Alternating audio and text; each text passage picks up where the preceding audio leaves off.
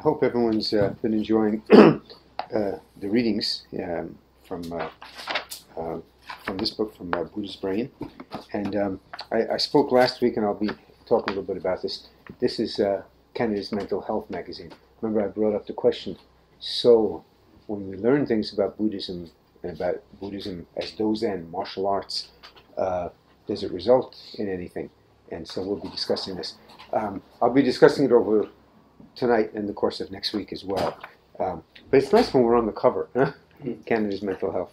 Uh, so this is a magazine, a professional magazine for psychiatrists and psychologists, and um, uh, this was the first important study ever done on academic study ever done on martial arts and what happens to people who, who train martial martial arts, you know, done in a, in a scientific procedure, and um, so it had quite an impact. Um, this is the, uh, uh, this was on adults. This is on children. And once again, we're on the cover. Some of you may recognize uh, uh, Melanie Konzak. she was nine years old in this one. And uh, this page, Sonia Konzak. and you'll recognize a whole bunch of other people uh, uh, when you look through it.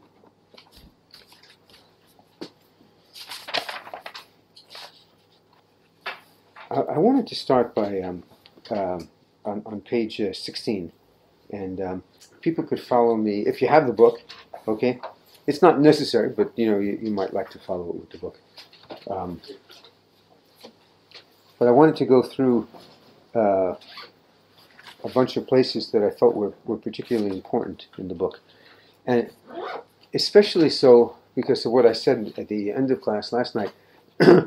that uh, although I think it's in general an excellent book, there are quite a few things that I, I really don't like about the book and about their approach. Uh, I spoke a little bit about it, but I'll be speaking a lot more about it uh, um, now. It's a it's a different perspective. It's it's um, it concerns the different perspectives of what Buddhism is, because as I as I mentioned, there's not one Buddhism. Uh, there's Tibetan Buddhism, there's Vietnamese Buddhism, there's Chinese, Japanese, Korean, Okinawan each have their own type of Buddhism, and I mean this is nothing nothing new. Okay, it's the same thing in uh, in other so-called religions. You know, there's many different types of Islam. There's Orthodox Judaism, uh, conservative Reform, and there's a whole bunch of new things that are growing day by day. Um, and it's the same thing in different philosophies. Okay, there's uh, Heidegger and uh, Heidegger the Nazi and Heidegger the sort of existential Sartrean type thinker. Um, there was Karl Marx, the founder of Marxism, who, before he died, well before he died, said, I can't believe this. This is what my philosophy has turned into. I am not a Marxist. Okay? One of the most famous examples of somebody who really was, you know, just appalled at what he was seeing, the way his, the way his philosophy was being brought out by, by other people. If he had ever seen what it would have resulted in with Stalin, I mean, that would have been, that would have been the final coup. Okay, so on page uh, 16, second paragraph, being on your own side. It's a general moral principle that the more power you have over someone, the greater your duty is to use that power benevolently. Well, who is the one person in the world you have the greatest power over? It's your future self. You hold that life in your hands, and what it will be depends on how you care for it. Uh, I think that's very well put. That amount, that moment has stayed with me because of what it taught me. I'm sorry, I skipped a paragraph. Of what it taught me about what is and isn't within our control. It's, he's talking about a personal experience he has, and it made him understand what is and what isn't within our control. It's impossible to change the past to the present. You can only accept all that as it is, but you can tend to the causes of a better future. Most of the ways you'll do this are small and humble. To use examples from later in this book, you could take a very full inhalation in a tense meeting to force a long exhalation, thus activating the calming parasympathetic nervous system. Or when remembering an upsetting experience, recall the feeling of being with someone who loves you, which will gradually infuse the upsetting memory with a positive feeling. Or to steady the mind, deliberately prolong feelings of happiness, as this will increase the levels of neurotransmitter dop- dopamine, which will help your attention stay focused. And remember, you know, again, it comes back to the importance of understanding that you have power over whether you want to have negative thoughts or positive thoughts. And we know where the positive thoughts will lead. I mean, this has been well shown in this book and, and in other books. We also know where the negative thoughts will lead, and we want to stay away from that. That's something that's really important. We want to stay away from that. These, uh, this is the page, the top of page 17. These little actions really add up over time. And that's important. They really do add up over time. Every day, ordinary activities, as well as any personal growth or spiritual practices, contain dozens of opportunities to change your brain from the inside out. You really do have that power, which is wonderful, which is a wonderful thing in a world full of forces beyond your control. A single raindrop doesn't have much effect, but if you have enough raindrops and enough time, you can carve a Grand Canyon. But to take these steps, you have to be on your own side. That may not be so easy at first. Most people bring less kindness to themselves than to others. To get on your own side, it can be helpful to make a convincing case for tending to the causes that will change your brain for the better. On page 18, okay, key points. What happens in your mind changes your brain, both temporarily and in lasting ways.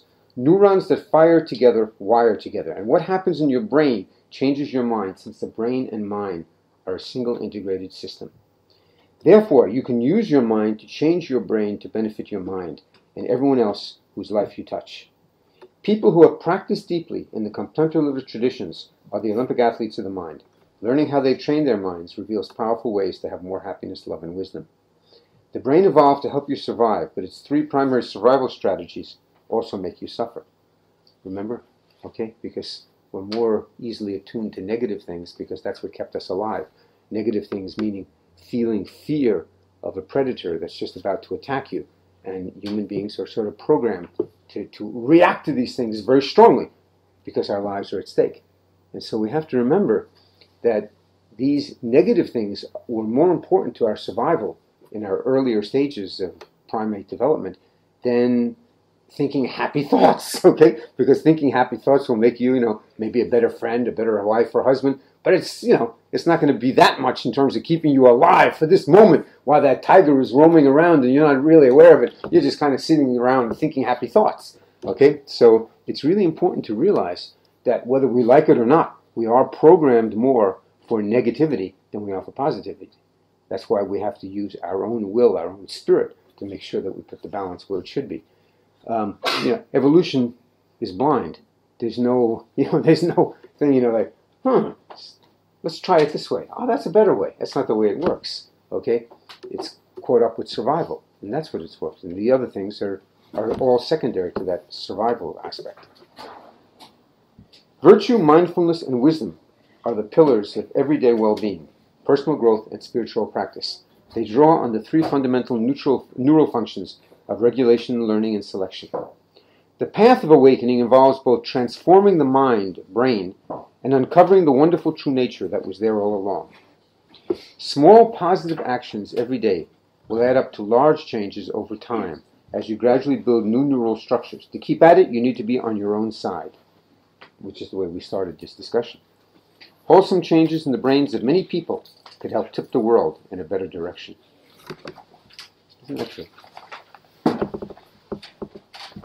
Okay, we can turn to page uh, 26. Three survival strategies. Over hundreds of millions of years of evolution, our ancestors, ancestors developed three fundamental strategies for survival.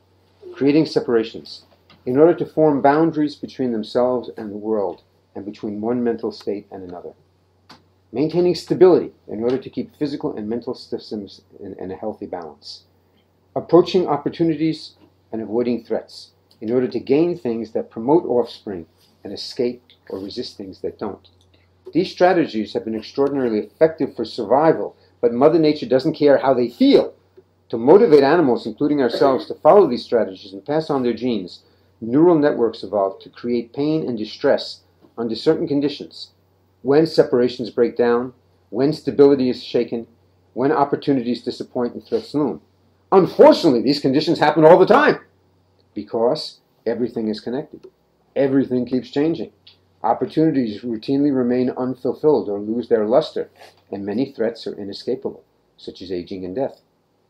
This is a really, really interesting paragraph because I'm sure I'm not the only one who can say, damn it, things have changed. you know, you know, just when you're about to go to your favorite store to pick up some things and you get there and he's gone out of business. You know? And you get really frustrated about all the things in our lives that are changing. And never more so than now because it's just more and more rapidly changing. And, you know, some people have difficulty dealing with the pace of change. They just can't keep up. And other people, and this is something that we should be getting out of our martial arts training, understand it as a part of life. And instead of getting upset, we can just say, okay, at least we got some good exercise. We walked to the store, we did this, we did that, you know. I mean, we can deal with it. It's not so bad. You'll find another place. Everything keeps changing. And as much as we try sometimes to separate ourselves from craziness that's around us, lousy professors, you know, friends that uh, you know are disappointing, um, the, the reality is is everything is connected. You know, we're connected to these things. We have to. We you know, even if we don't like our job, many people have to stay with it because there's not a lot of opportunities to just snap your fingers and find another job. Um, so the realization of these things should help us to understand how important it is that we build our own power within ourselves. And um, this is something that, well, this is one approach in this book that they're talking about. But that remember that uh, the Dozen is somewhat of a different approach. Okay? Now, I chose this book because I wanted to use that approach. I wanted you to see a different way of looking at it than what we look at in the dojo every day. Okay? You hear me talking about things every day. But in this book, you'll come across language that I would never use. Okay? Because it's a different type of, of Buddhism. It's a Buddhism of, of meditation and feeling good. Uh, I'm sorry, zazen, sitting meditation and feeling good and um, finding your center, which is all very nice. But when we get to it, you'll be seeing the big differences between this and martial arts type of, Zen, uh, uh, of Buddhism. Okay, let's turn to page uh, 41, please. Sensitivity to negative information. The brain typically detects negative information faster than positive information, of course. Take facial expressions.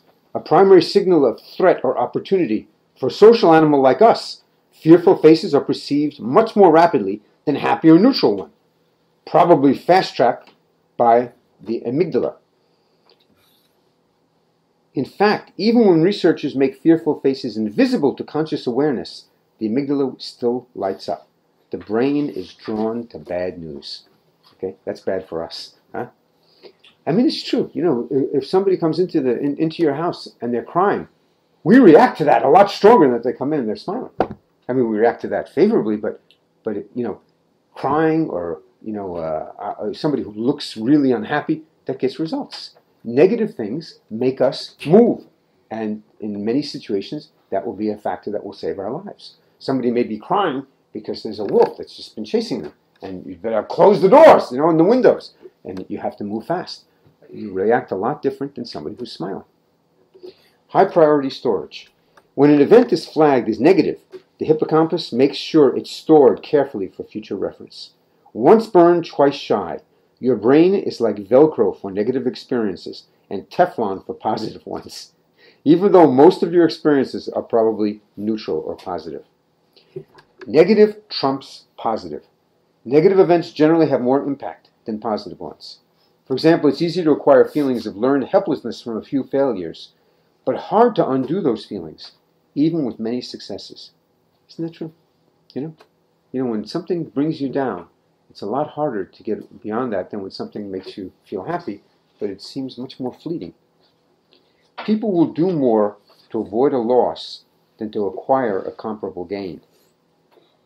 Compared to lottery winners, accident victims usually take longer to return to their original baseline of happiness.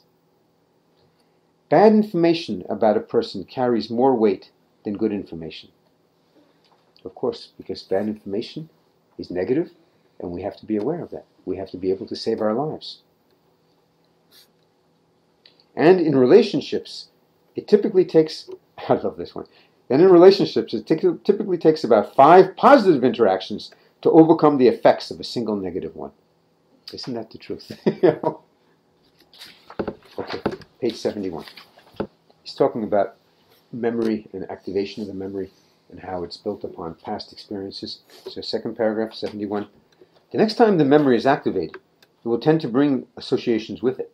Thus, if you repeatedly bring to mind negative feelings and thoughts while the memory is active, then that memory will increasingly shaded in a negative direction. For example, recalling an old failure while sim- simultaneously lambasting yourself will make that failure seem increasingly awful. Now remember the, the, uh, the words that count here.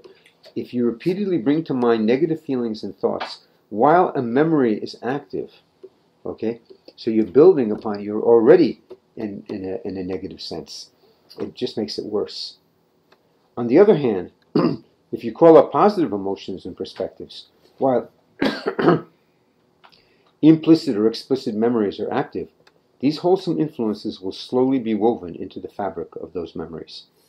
Every time you do this, every time you sift positive feelings and views into painful, limiting states of mind, you build a little bit of neural structure. Over time, the accumulating impact of this positive material will literally, synapse by synapse, change your brain. Most of the time, taking in the good takes less than a minute, often just a few seconds. It's a private act. No one needs to know you're doing it. But over time, you really can build new positive structures in your brain. Remember, I was talking about my father and that generation. Remember, it's not just my father, it was that generation that was known as, you know, just living in the worst possible times. And it made me often think about the fact, boy, am I glad I was born, you know, in a later period when, when it wasn't a war, a depression, another war, and you know all, all the horrors that uh, that went with this. But it's it's it's it's it's amazing that after all those years of negativity and not being able not not just as I say not just my father but that whole generation all my father's friends from that generation you know that it, it was amazing that before he died we were able to to change his perspective on things. And that was that was truly remarkable. Even if it was only for a few years even if it's just one day of happiness that counts for a great deal and it's funny because I had tried for a lifetime and you know couldn't do it but I think what really made the difference in our family, I think, was with our children. Wouldn't you say, Francois? Absolutely. You know, coming to visit him with with uh, Sonia and Melina, and uh, you know, just seeing his grandchildren that that uh, growing into such fantastic young women, it just just made such a such an incredible difference in his life. Uh, it's it's really funny. It took so long, but in the end, we had never given up and that's what made everything so so particularly meaningful. Okay, we've never given up, and in the end, something really positive came out of that. It's nice to think that somebody died happily. You know, you know that he wasn't afraid. You know, he was accepting. He had lived those last few years as the best years of his life, and that, that's that's really important. Okay, on uh, once again on page seventy-five midway through the third paragraph. Positive feelings have far reaching benefits, including a stronger immune system and a cardiovascular system that is less reactive to stress. And that's really, really interesting, isn't it? Positive feelings have far reaching benefits, including a stronger immune system and a cardiovascular system that is less reactive to stress. They lift your mood, increase optimism, resilience, and resourcefulness, and help counteract the effects of painful experiences including trauma. It's a positive fi- uh, cycle. Good feelings today increase the likelihood of good feelings tomorrow. We have to keep thinking that in mind, you know, keep, keep keeping that in mind because there's always the negative.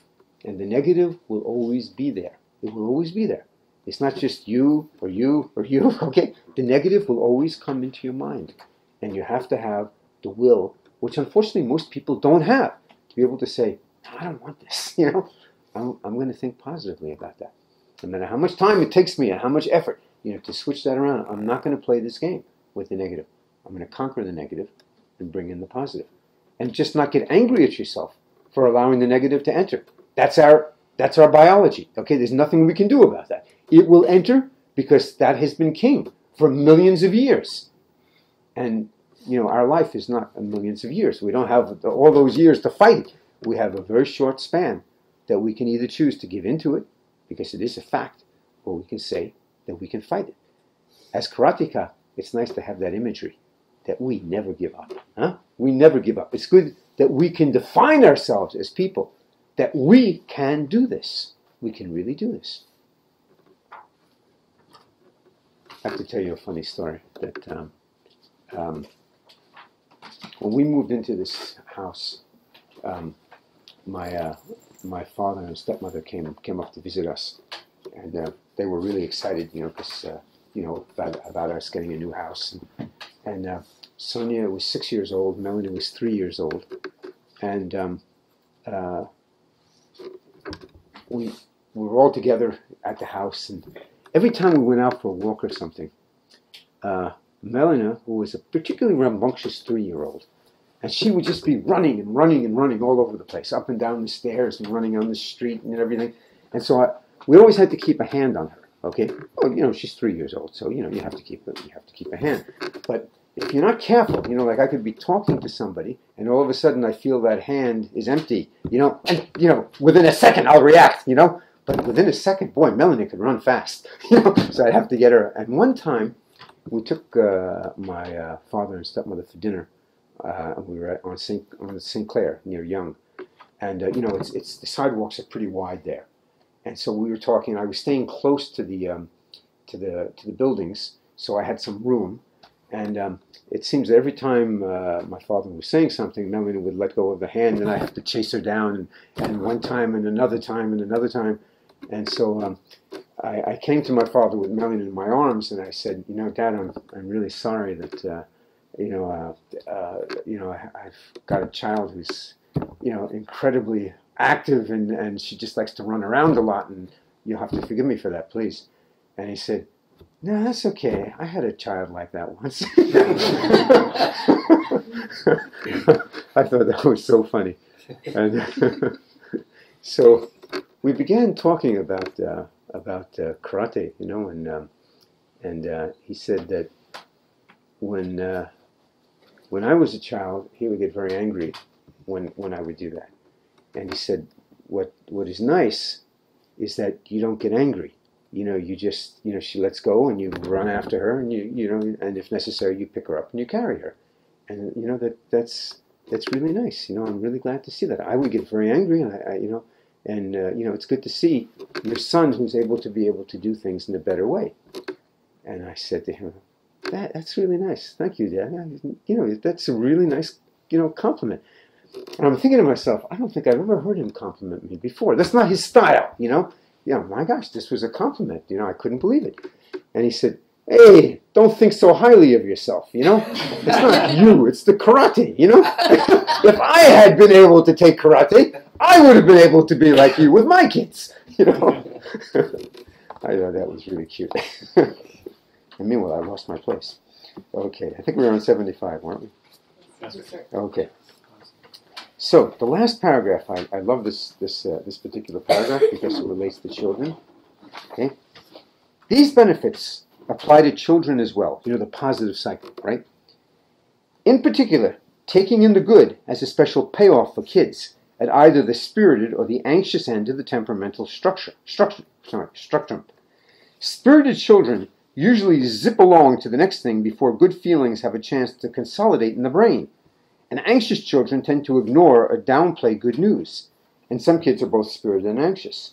Whatever their temperament, if children are part of your life, encourage them to pause for a moment at the end of the day or at any other natural interval, such as the last minute before the school bell, to remember what went well and think about things that make them happy. For example, a pet their parents love, a goal scored in soccer. Then have those positive feelings and thoughts sink in. I think this is, uh, you know, uh, many of you have children. I, I think it's particularly interesting because I mean, this is something that that um, we did with our children, and uh, I'm, I'm, sure this drove them crazy all the time. But when they would get home from school and we'd be preparing dinner before going to the dojo, we would always ask our children, "Okay, so what good thing has happened today?" and uh, you know, the idea is to get them to talk about good things because Of course, what rests in everybody's mind just before having dinner is negative things because we're human beings and that's the way we're programmed to think. So if something, you know, and, and, and any given day, there'll be good things and bad things, but before dinner, you'll sit down and you'll be thinking of the bad things because that's the way we are. And it's also, it's because it's just before dinner and we're hungry. We'll feel better after dinner. Then the negativity can be less. But that's a particularly volatile time. So it's really nice to begin by talking about, okay, what good things happened today? And even if they don't want to talk about it, then you can talk about it. What good things happened today and what type of an impact it had on our lives. Taking it in the third paragraph on the page, uh, 76, taking in the good is not about putting a happy, shiny face on everything, nor is it about turning away from the hard things in life. It's about nourishing well being, contentment, and peace inside that are refuges uh, refuge you can always come from and return to. Then on uh, a couple of paragraphs down, uh, key points. Unfortunately, the bias of the brain tilts implicit memories in a negative direction, even when most of your experiences are actually positive. That's the fact. Okay, page 79, please. The uh, first uh, italics Indeed, the sage who's fully quenched rests at ease in every way. No sense desire adheres to him, whose fires have cooled, deprived of fuel. And the second one. All attachments have been severed. The heart's been led away from pain. Tranquil he rests with utmost ease. The mind has found its way to peace. Now, I don't know about you, but I read this and I think it's far away from from me and from and from the life that we live in the 21st century, or that the life that maybe some people in the monasteries a thousand years ago or 2,500 years ago at the time of Buddha would have been looking for. I think it's something very, very different than than what what is today. And I don't know why they would try to bring this up today. Like these are citations that are uh, attributed to, to Buddha himself.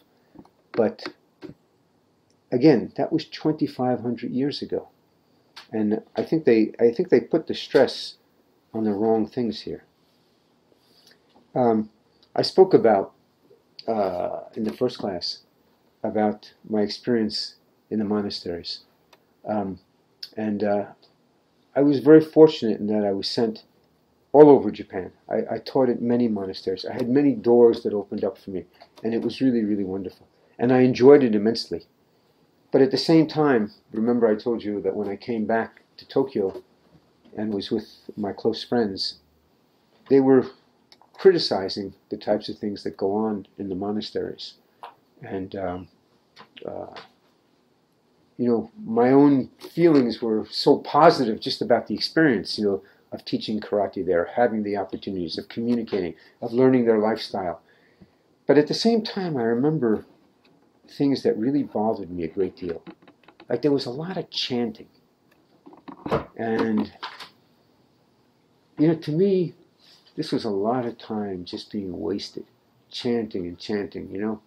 And, um, you know, it, it's not praying, it's just chanting, you know, I mean, repeating things, trying to develop a sort of a, a, a state of mind. Now, remember, I had been asked to come there to teach them martial arts. Obviously, they had felt there was a need for martial arts. There really was a need. These guys were really pathetically out of shape. And remember, it was all men. So the monastery made me feel ill at ease, always living amongst men and women, okay? Um, living in a house with three women, you know, and being the only man. So this, this, was, this is really weird to me. And it was part of an environment that made me feel very, uh, very uncomfortable. Um, then the other thing is that, did I talk about the dinner? Eating eating dinner. Okay, so um, we'd eat supper every night together. Well, we ate the three meals together, but dinner was a was a bigger meal. And um, uh, in a Buddhist monastery, you're silent during dinner. And dinner is very long, you know, because you're supposed to chew each uh, bite a thousand times. I don't think they were a thousand times, but it was a damn long time. You know, I mean, I'm watching these monks you know, chew and chew and chew. And there's nothing else to do but watch. I would have loved to have talked to them, but I couldn't talk to them, right?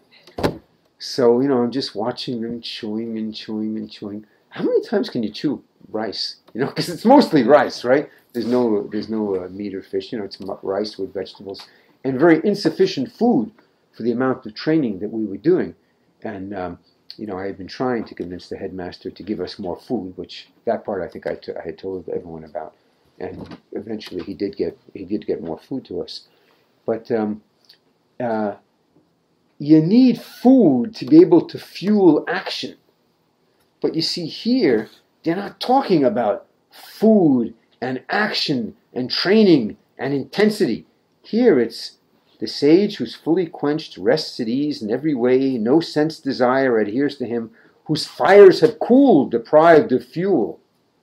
And I'm thinking, yeah, you know, that's what made them, you know, not give them too much to eat, you know, not give them too much fuel, not give them too much intensity. Because, you know, once once I got them into training and once I got them more food, then we could start really doing karate more than just a 10 kilometer run and then just seeing them you know, fall flat on their faces once we got back into the dojo.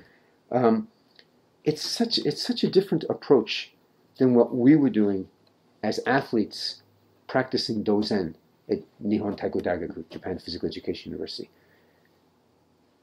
In the monastery, I felt I was with men who were half dead, partly because they weren't eating enough, partly because everything was oriented towards this no sense desire adheres to him. Okay?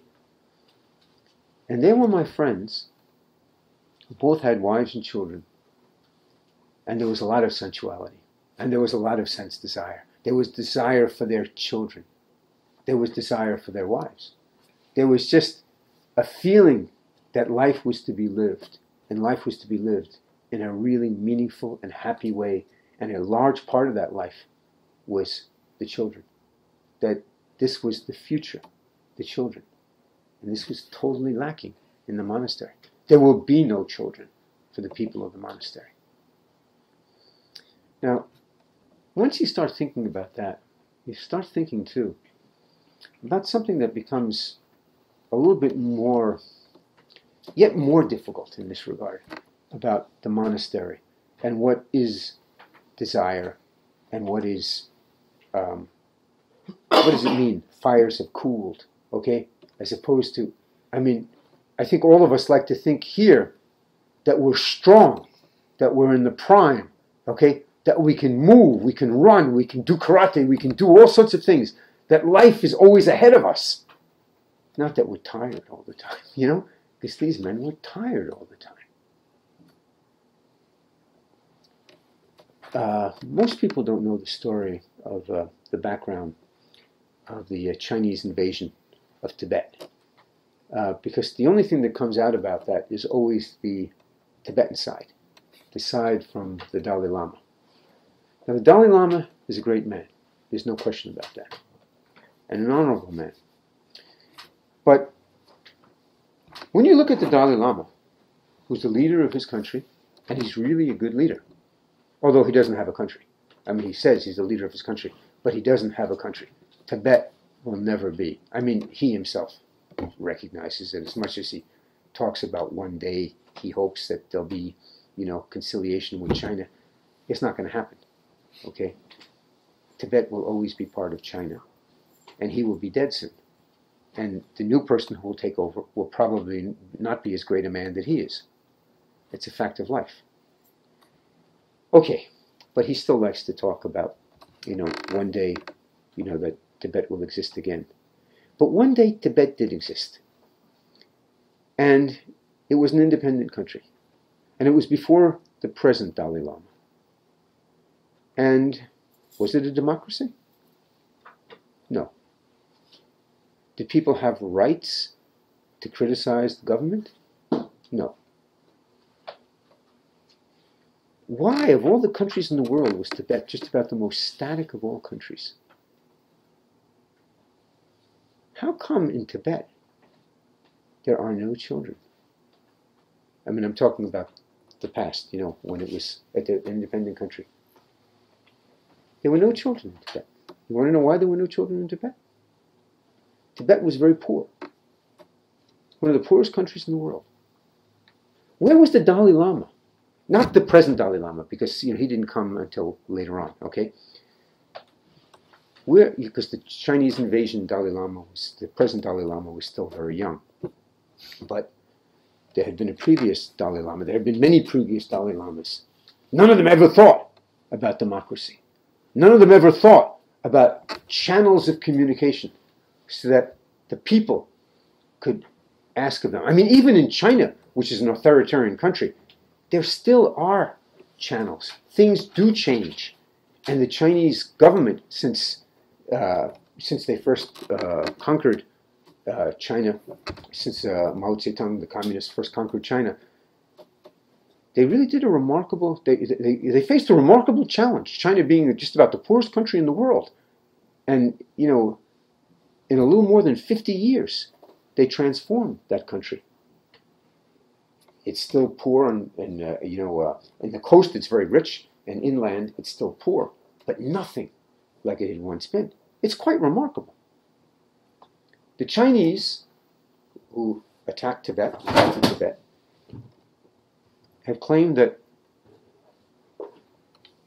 they've been trying to modernize Quebec, uh, Tibet. Did I say Quebec? Words are too similar. That they were trying to modernize uh, Tibet. Now, who knows?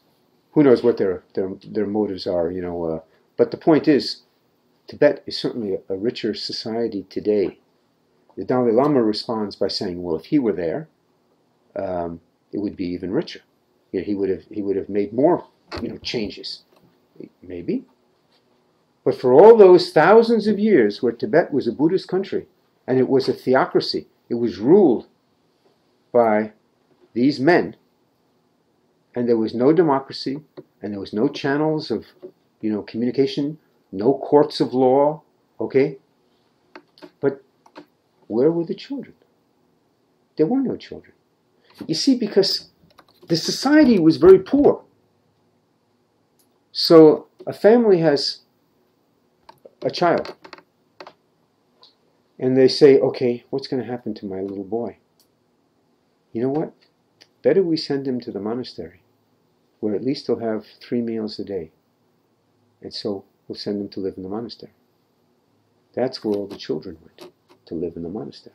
If you had girls, they'd stay with the family. You don't create new children, or very few new children, when all the boys are in the monastery because that's where they can get three meals a day, and the girls are at home. And the girls grow up to women, girls grow up to be women, where there's a lot of women, but very, very few men. Because all the men were these boys who have grown up and they still live in the monastery because that's where they can get food.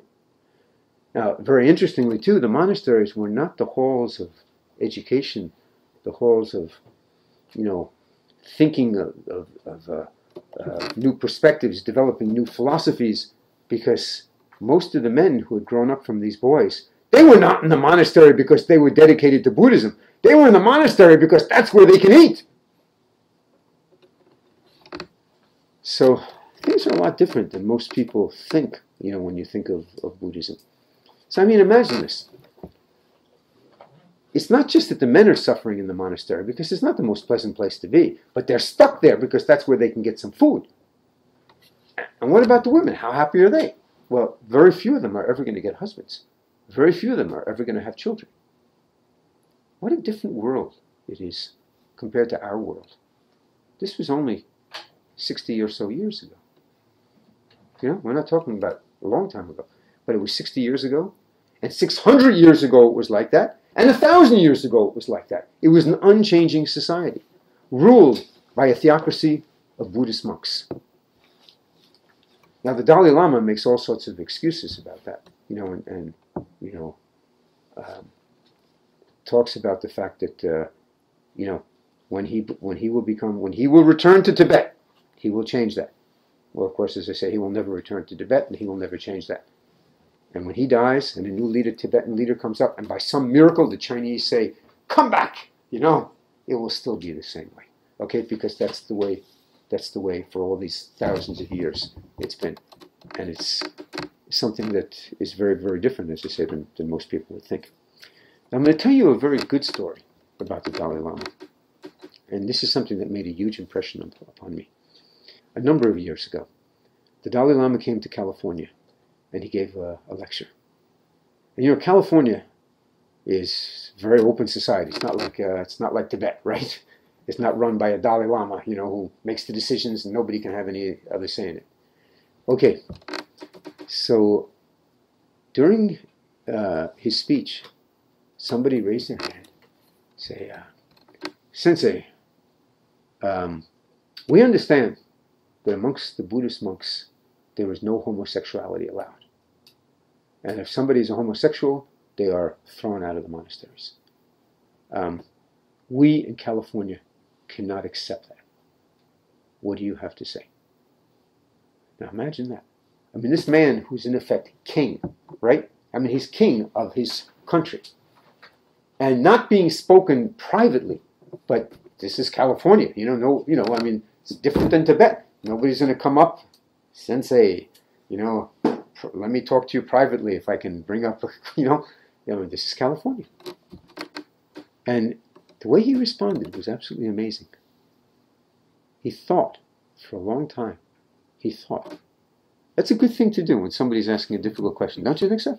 I mean, before you say something stupid, think about what you're going to say.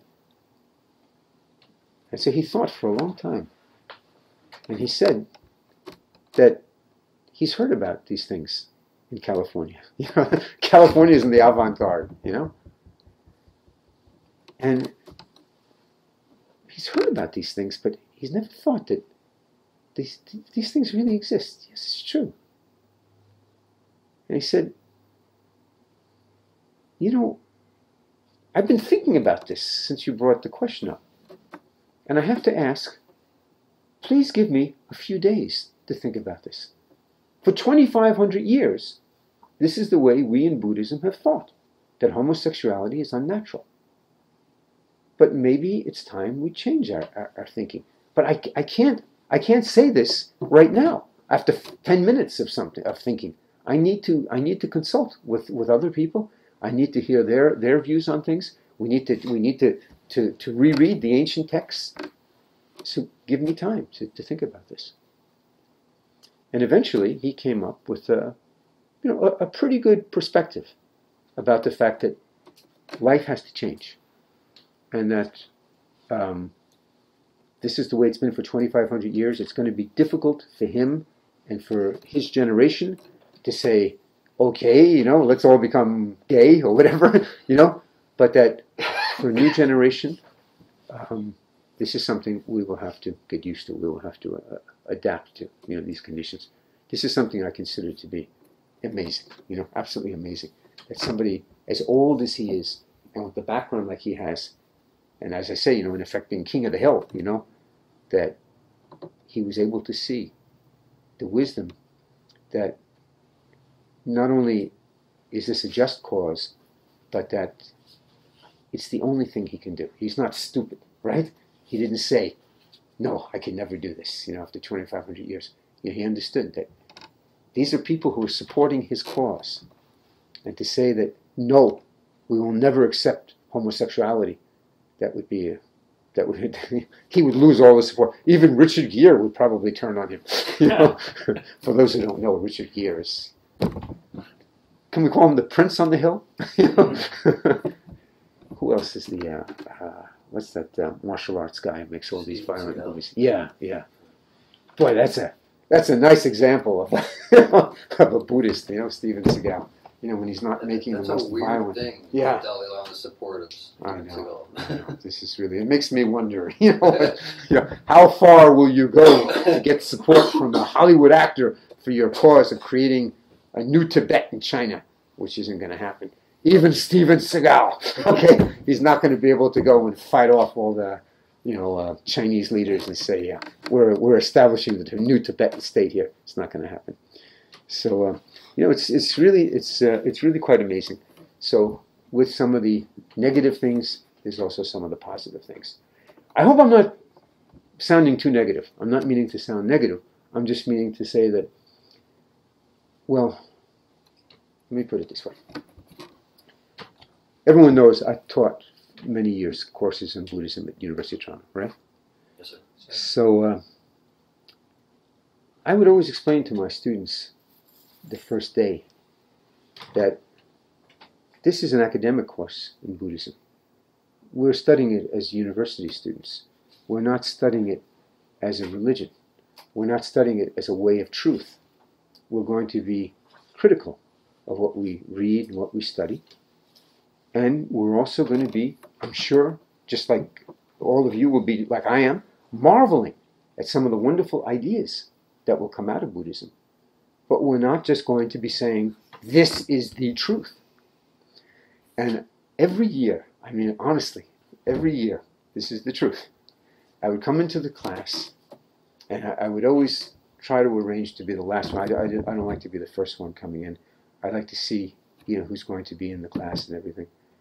And inevitably, I see somebody not sitting in a chair or on the floor, but sitting on a table in the meditation position, you know, his hands like this, his eyes closed, you know. And I'd have to start the lecture and wait for him to sort of come out of his trance, you know, and then explain to him that there will be a rigorous reading regimen. And if you do not keep up with the reading, you will fail this class. It's not because you're not doing the reading, it's because when I give you the exams, which will be difficult, you will fail if you don't read these books, and they're going to be difficult books. And I would see that guy that was always there, and every year I taught the course, and he would simply get off of his table and walk out of the room. and I would always say, Hey, great, this is a great start to the semester. Everyone would laugh. It was the same thing every year, every year, year after year, for all the years I taught the course. So there was one year that I was teaching karate uh, at the athletic center. We had we had, we had a big karate program, and um, I had a, uh, a student who was a, a Japanese woman. Um, it was a big class, so she was one of my many students, and um, she was one of the most difficult students I ever had. Not not that she was a difficult person, but she just couldn't get the technique. She was just had so much trouble. You know, it, it looked like she had never done anything physical in her life. And so, uh, you know, I, I uh, spoke to her one day, and uh, I, you know, because she came to see me after class, asking should she drop out. You know, she's keeping everyone back. I said, no, no. You know, you're putting in the effort. I admire that. You know, uh, uh, you know, some people pick it up quickly. Some people, you know, take take a lot of time.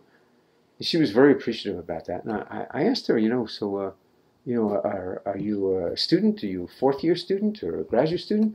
She said, no, no, I'm, I'm, I'm a professor. I said, oh, okay. You know, she was so small and, um, you know, she looked so, you know, ill at ease in her skin, you know. So, um, okay, that's fine. Then a couple of months later, after all this effort and all this trying, you know, and she was she was really working hard, and she came up to see me again, and she said, one of my students, uh, she's talking to me, one of my students told me that um, you're her professor in Zen, and, and, and Buddhism, excuse me. And I said, yeah. And she said, do you know, do, do you know, you know I'm a professor? And I said, yeah. Do you know what I teach? I said, no. And she says, I teach a course in Buddhism as well. I said, hey, that's neat, you know? So where's your course? My course was in the, uh, the uh, Department of East Asian Studies. And I said, well, so where's your course? She said, she's studying, in, uh, she's uh, teaching in religious studies. All the way on the other end of the campus. Okay? So I said, that's interesting. So I said, you know, since you're studying, you know, uh, uh, uh, you know, you know, you're looking at it from a religious studies perspective. Um, you must be using. I'm sure you're using different books than I'm using. And um, I asked her if she can give me some, if she could loan me some of the books. And she says, yeah, more than that, I'll, I'll give you some of the uh, scholarly material that I've written on, on the subject. So she gave me a whole bunch of uh, manuscripts, which was really, really um, abstruse Buddhist uh, theological material. Frankly, it didn't interest me at all, but uh, but you know I was impressed, you know, with, with with her with her learning and everything. And then she asked me a couple of months after that, "Would you mind if I came to your class and audited your class?" I said, "Wow, that would be great. You know, my students would have two teachers. You know, and I love it. You know, I said, if you want to do that, I'd like you to, you know, I mean, I, it's it's my role to teach the course, but I'd love for you to have how much do you want? 15 minutes, a half an hour every class, because I think it was two it was a two-hour class at that time, two hours, and then a second class uh, later in the week for one hour. So she said, yeah, she'd love that. So she would teach part of the class, and it's so it was so different the perspectives, because my class was focusing on Japanese Buddhism and the martial arts, and her class was focusing on more on Tibetan Buddhism, and uh, it was a totally different different perspective. It's like we were in you know two different worlds, but it was really really interesting uh, seeing how she would approach it, never being critical of Buddhism, but just talking about you know the, the, the scholarly approach. This is the way you know this is the way it is. You know this is the way the Tibetans do it, or this is the way the Vietnamese do it. You know, etc. Whereas we were looking for well, we were focusing, as I say, on Japanese Buddhism and its origins in China. Now, of course, they go further back to India, but I can only do so much in a year. Okay, it was a year course, but we were focusing on the origins in China, and that was as far back as we went. And um, over time, she began to get better in her martial arts. And in time, she became very good at this. And so when we had our, our, our courses, it was really interesting how her perspective began to change. No longer looking so much at Tibetan Buddhism, and now being, you know, taking a look at other aspects of Buddhism, especially the Japanese, because she was she was becoming more comfortable in her skin. She could do down blocks, she could do tanokata, you know, which required, you know, the, the hip rotations and things like that. And it wasn't the language anymore of this type of, you know, uh, all attachments have been severed, the heart's been led away from pain. Tranquil, he rests with utmost ease. The mind has found its way to peace. Now she was using like karate do terminology, you know, karate do imagery, and it was a whole different world. And it was, uh, it was, it was, it was really something to see how that how that changed. Uh, unfortunately, we had we had become very close friends. Her husband was also a professor. He was teaching part time at, uh, at the university. He was a professor of English, and unfortunately, there's not a lot of jobs for professors of English. Um, but you know, he, had, he was fortunate; he had a part time job. And um, so the four of us, Francoise and myself, and uh, and this woman and her husband, became very close friends, and we would often have dinners together on on Friday evenings. And then she was notified that she was fired. Can you imagine that? That's what it was like in those days, in the 1970s. A woman can be fired just like that. Religious studies. How many women do you think were in the department? she was the only one. Most of the men there were Catholic priests. And because this was religious studies, it was at St. Michael's College, okay, which was a Catholic institution. When she had been hired, it was a kind of a charade. You know, well, let's give Buddhism. Let's pretend that we're open-minded here, and you know, in addition to having Catholicism, we'll also have some Buddhism. But I guess she overstepped her bounds, and they just, you know, on a, on a moment's notice, told her she's fired. Now you can do that because she didn't have tenure yet. Uh, this was amazing because she was such a. I mean, it wasn't just my feelings of how good a scholar she was. Um, she had had her work published in all the leading academic journals, you know, in her field. Um, she was she was just magnificent, you know, and um, so unfortunately she had to leave University of Toronto. Um, but you know what? The good news in this is that she was offered a tenure stream position at Stanford University in California. and so she went to Stanford. She eventually got her tenure, and she's still a professor at Stanford. Isn't that something? really glad. U of T let her go. These stupid men, you know, you know, getting rid of their token women, their token Buddhists, sending her off, and we lost a scholar of that caliber, you know, who became really, really well known in her field, you know, uh, and she invited us out uh, um, to, to visit her at um, at uh, Stanford and to do um, she arranged for us to um, karate demonstration and uh, and a lecture, and it was it was it was really magnificent. So really interesting. There is justice in the world. It's nice to see that.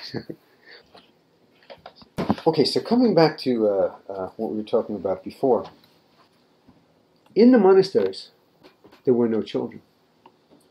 To be a, a Tibetan monk, there'll be no children.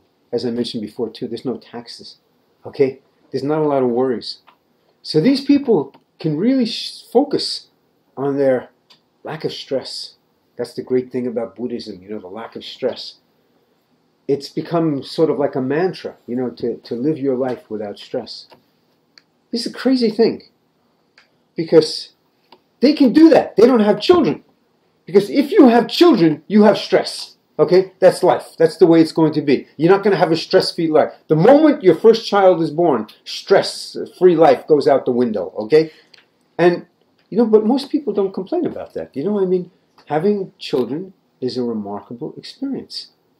And to sort of counter this with this philosophy from uh, 2,500 years ago, emphasizing, you know, the ability to live without stress, it seems crazy. You know, it means living without children. It means living in a world, again, without taxes. It's living in an artificial world. So these monks can say all that they want about how fantastic they are in these different dimensions of Buddhism. Um, if you really think about it, it's not something that's so fantastic. Any idiot can do it if you don't have children. You know, you can just sit down and watch television all day and live a stress free life. It's not a very meaningful life. But do these monasteries give a very meaningful life? If you choose to have children, you will have a life of stress. It goes with the territory. It is also, and anyone who's had children, it's the most wonderful adventure in the world. I mean, anyone who's had children can never imagine living without without children. But if you choose children, you choose stress. As we've seen, your sympathetic nervous system and stress-related hormones fire up to help you pursue opportunities and avoid threats. While there's certainly a place for healthy passion, and for strong stands against things that are harmful, most of the time we're just overheated, caught up with some carrot or struggling with some stick. Then we feel driven, rattled, stressed, irritated, anxious, definitely not happy. We need to lower the flames. This chapter will cover many ways to do just that. Hey, we're getting that terminology that I wasn't too happy with uh, before, quoting the Buddha, but we're getting it in this book now. If your body had a fire department, it would be the parasympathetic nervous system. So that's where we'll start. Okay, so the next uh, paragraph. Activating the parasympathetic nervous system. Your body has numerous major systems, including the endocrine, cardiovascular, immune, gastrointestinal, and nervous systems. If you want to use the mind body connection to lower your stress, cool the fires, and improve your long term health, what's the optimal point of entry into all of these systems? It's the autonomic nervous system. This is because the ANS, which is part of the larger nervous system, is intertwined with and helps regulate every other system, and mental activity has greater direct influence over the ANS than any other bodily system. When you stimulate the parasympathetic wing of the ANS, calming, soothing, healing ripples spread through your body, brain, and mind. Let's explore, uh, let's explore a variety of ways to light up the PNS. Relaxation. Relaxing engages the circuitry of the PNS and thus strengthens it. Relaxing also quiets the fight or flight sympathetic nervous system since relaxed muscles send feedback to the alarm systems centers in the brain that is all that all is well. When you're very relaxed, it's hard to feel stressed or upset. In fact, the relaxation response may actually alter your genes, how your genes are expressed, and thus reduce the cellular damage of chronic stress. You can reap the benefits of relaxation not only by initiating it in specific stressful situations, but also by training your body offline to relax automatically. The methods that follow can be used in either way. First, here are four quick ones. Relax your tongue, eyes, and jaw muscles. Feel tensions draining out your body and sinking down into the earth. Run warm water over your hands.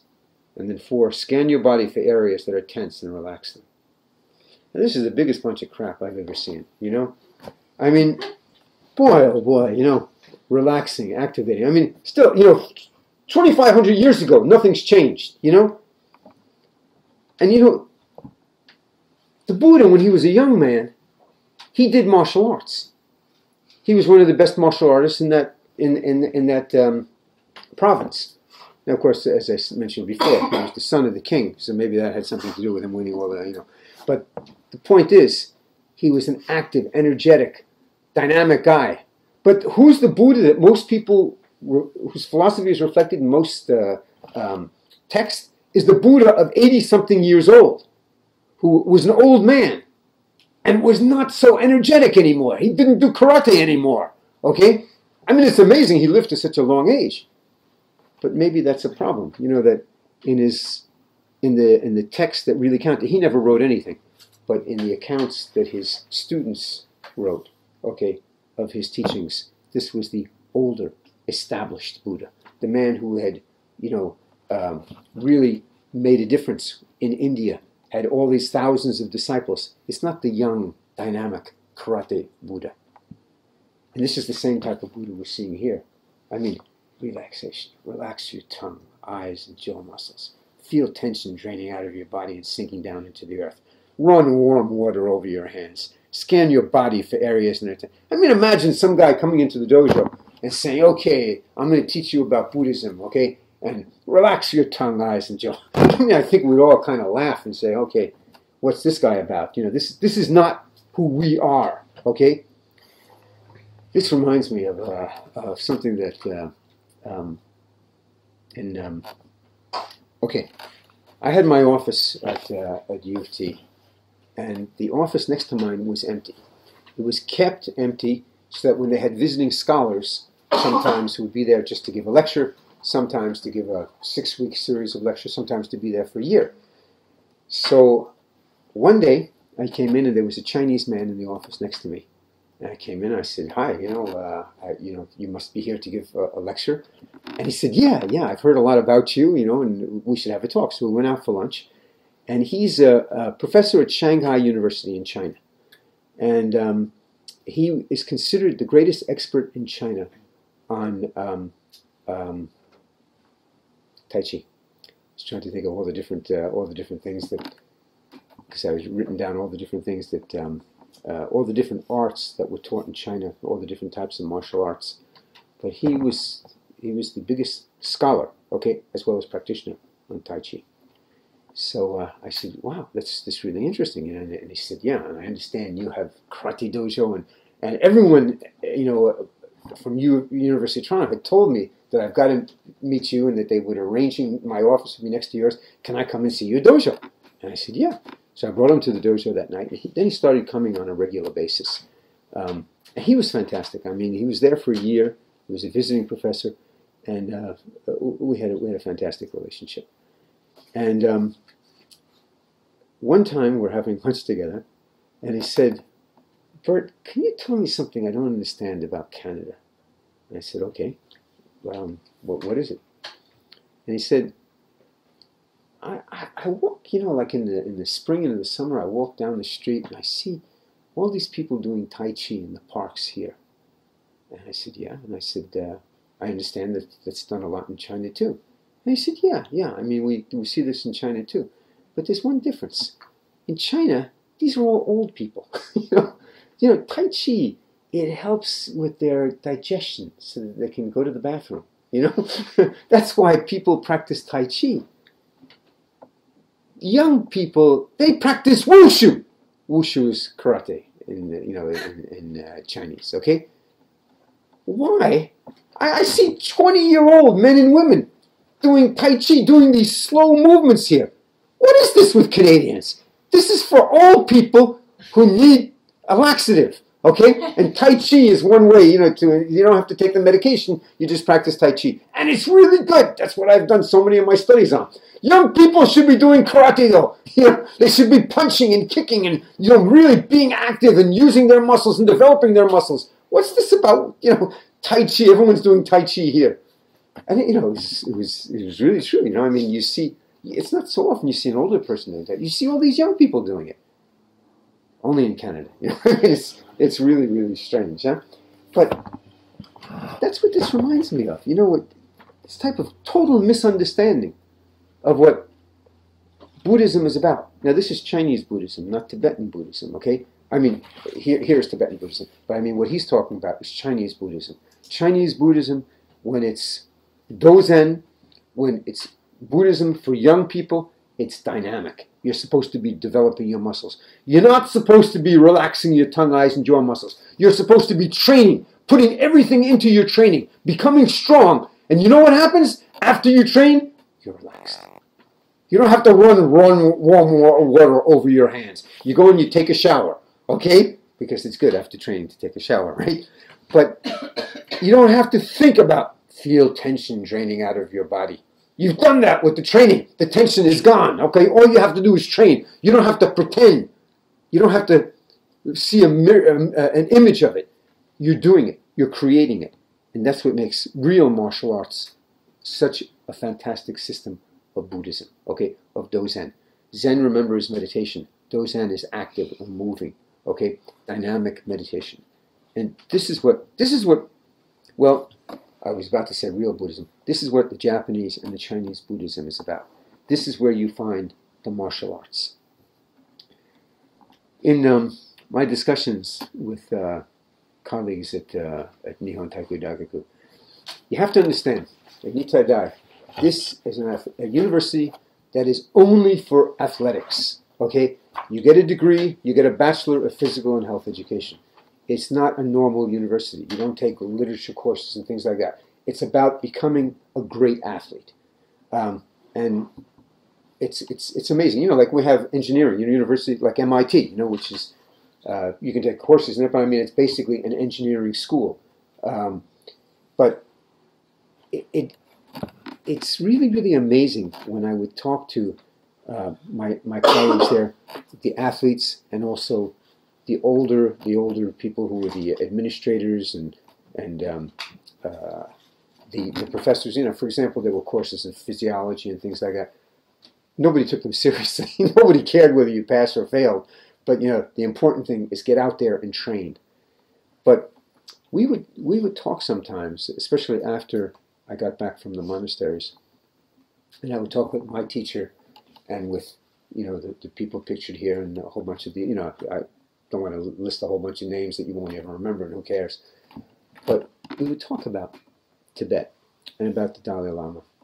And one of the things that was interesting to talk about is that I said that if it were Japanese karate people who lived in Tibet, now you know Tibet is the highlands, right? It's, it's a very high, you know, high high altitude country. Okay, I said, I bet you if instead of teaching Tibetan Buddhism and all the boys coming into the monastery, and there's no baby boys because they, would go right into the monastery, and there's no boys who grow up into men and, beca- and learn martial arts.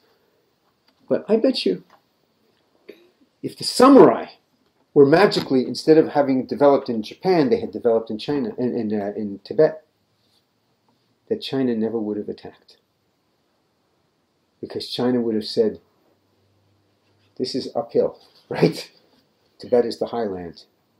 And the Mongolians once attacked Japan after they had conquered China, after they had conquered Russia, after they had conquered India, all of Asia, and were into Europe already. And they made the mistake of attacking Japan, thinking, you know, this stupid island country is the only place in Asia that we haven't we haven't conquered. And they attacked Japan, and they lost. And they could never figure this out. I mean, millions of soldiers, the Japanese having just a few thousand. Japan was a small island country. And so they attacked again, thinking this was a fluke. The Japanese got lucky, and they lost again. They never attacked Japan again. The countries in Asia, they would fight amongst themselves, but they would avoid attacking Japan because they know they would lose. Because although Japan was small, they had the samurai. And the samurai had that samurai spirit that they would never give up, they would never quit, that their country will never be defeated. When I said that, you know, everyone started laughing and saying, "Yeah, you know, I mean, it would be, it would be, a, it would have been a whole different world, because it's not like, it's not like, you know, like Tibet was flat, and the Chinese could just simply overrun them by their numbers. It was the fact that they would have to go uphill through the mountains, and they would be fighting a canny people, smart, trained. And the Chinese, of course, if they sent their whole army in, they could have defeated it. But how many millions of men do they want to lose? I mean, you realize that it's not, you know, there's a certain price to be paid for victory, and it would be a stupid price to be paid. But the Tibetans, they didn't have the samurai. They didn't have, they did have an army, but it wasn't much of an army. It wasn't anything that was able to fight, and the Chinese were able to get the jump on them because they weren't prepared. Well, you know, a country that's independent, if it wants to stay independent, you better have an army. And you better have an army that can really defend itself. And so, you know, it's again, it goes, you know, that there are consequences of your actions. So if you're a Tibetan Buddhist and you think the greatest thing in the world is the monasteries and the learning that goes on in the monasteries, there's other things in life that count too, like having children, okay? Because for one thing, it will give you a, a, a larger population. The population is, is, was always too small in Tibet. Well, of course it was too small in Tibet. Nobody's having children. But you also just need an army to make sure that nobody's going to attack you. There was no reason that this had to happen. And as I said, it's not necessarily that you have to have an army so strong that you can defeat the Chinese. You're not going to defeat the Chinese. But as I said, there's a cost to be paid, and the Chinese would not have paid that cost. But anyway, that's something that's all in the past. It's going to be very difficult for Tibet to reconquer uh, their, their country now. Um, we'll see what happens in the years to come. But uh, uh, I wouldn't I wouldn't bet too much money on uh, on seeing a, an, an, independent, a newly independent Tibet. Okay, I wanted to continue on page 80, 80 uh, 83. Just the the top of the uh, top of the page. Mindfulness just means being fully aware of something in the moment with it and not judging or resisting it. Um, I like this because it's something we talk about in the martial arts also uh, all the time. Mindfulness means being fully aware of something in the moment with it and not judging or resisting it. We can go on to page 88. As we saw in chapter 2, this is the top of the page, the brain continually scans your inner and outer worlds for threats. When any are detected, your stress response system fires up. Occasionally, this vigilance is warranted, but usually it's excessive, driven by the amygdala hippocampus, hippocampus reactions to past events that are no longer likely. The anxiety that results is unnecessary and unpleasant, but it primes your brain and body to overreact to small things. On the next page, the last, the last paragraph on page 89, bring mindfulness to fear.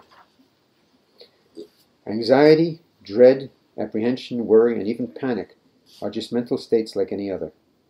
Recognize fear when it arises. Observe the feeling of it in your body. Watch it try to convince you that you should be alarmed. See it change and move on. Verbally describe your, to yourself what you're feeling to increase frontal lobe regulation of the limbic system. Notice how the awareness which contains fear is itself never fearful. Keeping separate, keep separating from the fear settle back into the vast space of awareness through which fear passes like a crowd, like a cloud. Again, this is another paragraph that bothers me a great deal. It'd be a lot better to develop fearlessness based on power, courage, training, confidence, the type of things that you develop in, uh, in uh, Asian martial arts that encompasses Buddhism through its self development, through its compassion, but lives in the real world.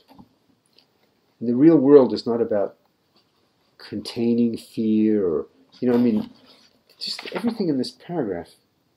Recognize fear when it arises, observe the feeling of it in your body.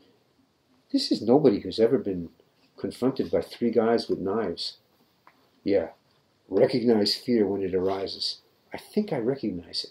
Three guys, they each have knives. Okay, recognizing the fear.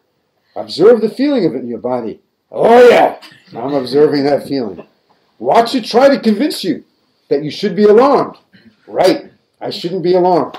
See it change and move on. Come on, you know? You know, I, I there's so many so many books like this that is such a misrepresentation of what the power of Buddhism could be, should be, and is in certain cultures, but not in other cultures. And that's the fact that, we, you know, we, we don't deal with funny little stuff like this, you know, being attacked by somebody you know, like the other night in the dojo where we were doing counterattacks against somebody uh, grabbing you in a choking hold. Um, that's real fear, yeah. But you know, you deal with it not by letting it take you over, you know, letting you, you know, letting it separate from your body. You deal with it because you've trained your body, your mind, your spirit. That when things like this happen, you go into automatic mode. You know exactly how to handle yourself because you've seen roundhouse kicks coming at you a thousand times already. Okay? You've seen multiple people attacking you. You've learned by doing your katas how to have perfect balance, how to be able to block and counterattack. It becomes automatic. The fearfulness, you don't have a chance to think about it. And that's really one of the most important concepts of Buddhism, the muno kokoro. You don't think about something. When somebody attacks you, it just becomes automatic. Mind without conscious thought. You've trained to such a high degree that your body, your mind, your spirit are all in that high state of tension, not a bad tension, but that attention ready to react like a tiger. Not somebody who's totally relaxed. You can't fight when you're totally relaxed, okay? But you're totally in charge of yourself. Here's a fellow, or a group of fellows, because there's four fellows who wrote this book. This is the neurologist speaking, but certainly not the Buddhists. For example, I realized some years ago that the training of my head had gotten out in front of my cultivation of my heart, so I've been focusing more on the latter ever since. Whoa, where has he been all these years, you know? Um, I think the context of that is that uh, he realized he had been unfair to his wife in a number of things, and so um, too much training with my head, and uh, I should have been training more with my heart. One of the most uh, important words in, in um, Japanese is kokoro, um, and um, there's an expression about that that you you think with your you think with your heart That seems kind of funny. You think with your heart. But that's the essence of kokoro. Kokoro is made up of two characters the character for brain and the character for heart. And when you say muno kokoro, so kokoro there means mind. Mu means um, without conscious thought. Muno kokoro, mind without conscious thought. So you see how the two characters that characterize the word are mind and heart. So when a Japanese thinks, he always thinks with his heart. Because you don't have to say the mind, because the word kokoro means mind, right? Did everyone follow what I'm saying? So it's one of the important things about Buddhism that the two are supposed to be in sync. You don't just think with your mind. And this is one of the things that the Japanese most criticize Westerners for that there's always this dichotomy that, especially amongst men, that they think with their minds and they don't have enough heart. And women are accused of thinking with their heart. You know, or you know, that's that's the concept that men always have of women, right?